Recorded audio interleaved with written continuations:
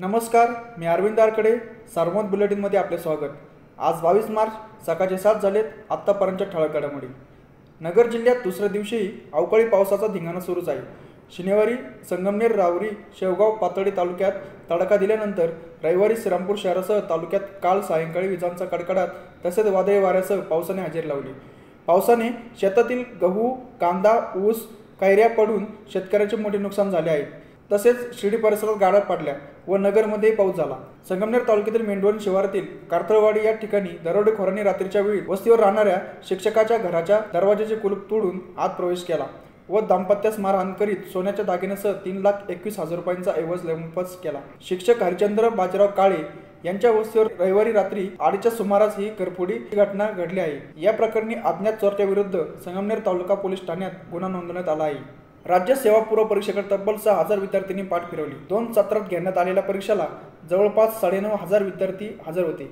राज्य सरकारने अचानक स्थगित केलेल्या राज्य सेवा पूर्व परीक्षा रविवारी पार पडली. नगर शहरातील तब्बल एक्कावन्न केंद्रावर दोन सत्रात परीक्षा घेण्यात आली. सकाळच्या सत्रात पंधरा हजार आठशे अठ्ठेचाळीस विद्यार्थीपैकी नऊ हजार पाचशे पाच विद्यार्थ्यांनी परीक्षा दिली.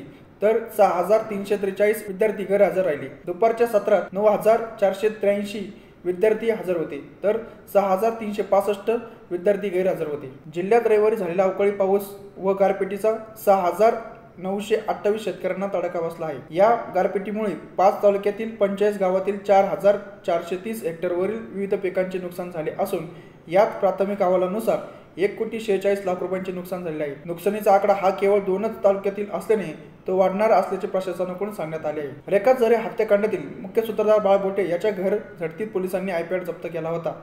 त्याचेही लॉग उघडत नसल्याने आयपॅडची फॉरेन्सिक लॅब मार्फत तपासणी करण्याचा निर्णय पोलिसांनी घेतला असून लवकरच आयपॅड तपासण्यासाठी पाठवण्यात येणार आहे. पोलिसांनी बोट्याच्या समक्ष त्याच्या घराची झडती घेतली. त्यावेळी पोलिसांनी एक आयपॅड जप्त केला होता. यापूर्वी पोलिसांनी बोटेचा मोबाईल पंटर तनपुरेचा सात मोबाईल फॉरेन्सिक लॅबकडे पाठवले आहेत. आता या आयपॅडची तपासणी फॉरेन्सिक मार्फत केली जाणार असल्याचे सूत्रांनी सांगितले.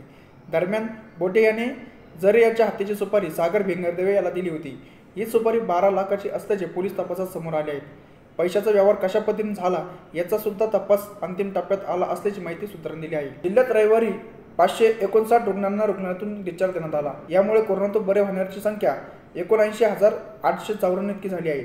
रुग्ण बरे होण्याचे प्रमाण हे आता चौऱ्याण्णव पॉईंट चव्वेचाळीस टक्के आहे. दरम्यान रविवारी नव्याने कोरोनाचे सातशे पासष्ट रुग्ण वाढले असून यामुळे उपचार घेण्याची रुग्णसंख्या तीन हजार पाचशे अठरा इतकी झाली आहे. या होत्या आतापर्यंतच्या ठळक घडामोडी. सविस्तर बातम्यांसाठी वाचत राहा दैनिक सारमत किंवा भेट द्या देशदूत डॉट कॉम या संकेतस्थळाला. नमस्कार.